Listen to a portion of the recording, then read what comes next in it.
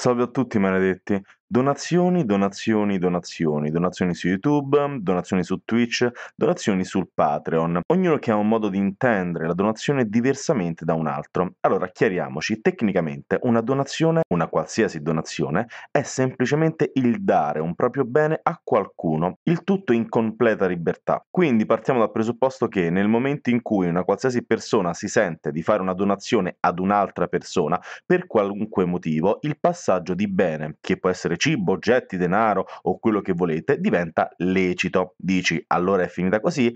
Eh, tecnicamente sì, ma ma in questa sede io parlerei di qualcosa che, sia ben chiaro, è sia, come già detto, totalmente lecito rispetto alla possibilità di farlo, ma in egual modo opinabile riguardo il modo con cui viene fatto. Le critiche sono sempre le solite, attenzione, donano i bambini, magari hanno l'account collegato con il PayPal dei genitori e fanno ingenti donazioni prendendo i soldi da loro. La mia risposta rispetto a questo argomento è sempre la solita. Eh, e quindi, se i genitori lasciano l'account di PayPal perché pensano che il pargolo sia incapace di usarlo, sono problemi loro. Se non educano il loro figlio perché è molto più semplice lasciarlo a brucare merda da quell'enorme pascolo che è internet, beh, qualcuno direbbe te sta pure bene. Quindi, appurato che non trovo sia questo un problema, qual è il problema, almeno dal mio punto di vista? Quindi ripeto, questa parte totalmente opinabile e risponde del giusto e dello sbagliato in base alla propria etica.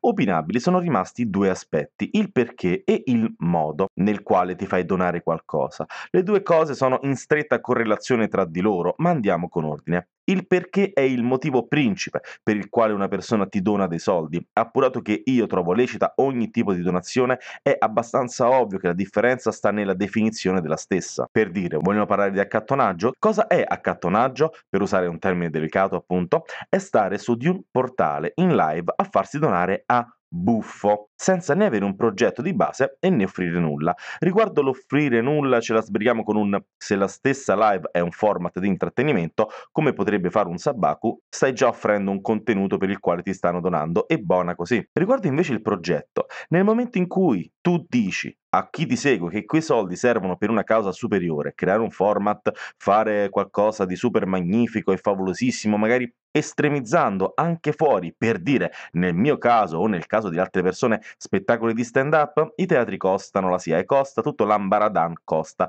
quindi il farsi donare per sostenere il lavoro di creazione di un progetto come un tour o altro è essenziale. Ed in questo momento in Italia è evidentemente molto più semplice la donazione del non aprire un crowdfunding proprio per come viene percepita, ma appunto si mette agli atti che c'è una differenza abissale a livello di percezione tra un crowdfunding ed una donazione rispetto appunto al rapporto tra chi dona e chi riceve. Nel momento in cui io ti sto donando senza un progetto concreto per il quale so di star donando, io utente, io donatore mi aspetto qualcosa per me.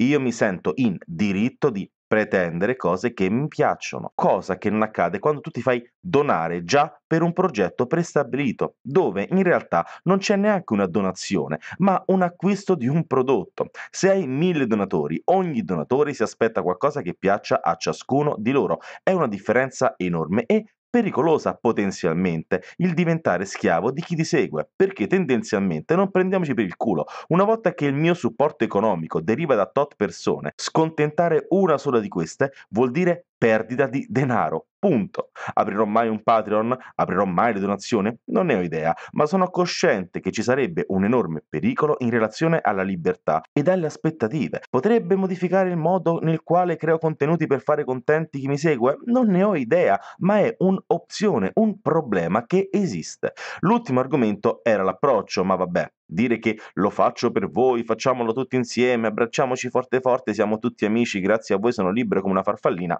è un argomento che lascia il tempo che trova, è marketing, lo capisco, lo accetto, è come per la pubblicità, è una pubblicità che punta sull'amore, lo guardo, mi faccio una risata e passo oltre. Soprattutto perché se domani viene una persona da me e mi dice senti, per questi eventi sull'arte ti sponsorizzo io e ci metto per 10 date 50.000 euro, ma accetto, a chi vogliamo prendere per il culo? Posso assicurarvi che le le persone che vi dicono di no, che non accettano queste cose, sono persone alle quali non è stato mai offerto nulla e così sono tutti buoni. Quindi, una volta appurato l'opinabilità etica dei comportamenti di chi chiede soldi in cambio di qualcosa e soprattutto, come ho già detto, nel modo e nel perché tu chiedi soldi, c'è solo da parlare con l'altra parte gli usufruitori.